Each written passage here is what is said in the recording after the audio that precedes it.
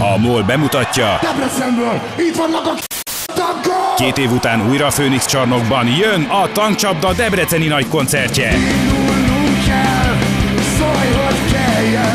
rock! December 29-én ismét hazai pályán Magyarország legnagyobb rock'n'roll zenekara. Vendég a brooklyni Verismo és a Leander. Jegyek az ismert helyeken vagy a www.tikip.hu-n. További infók www.tankcsapda.com.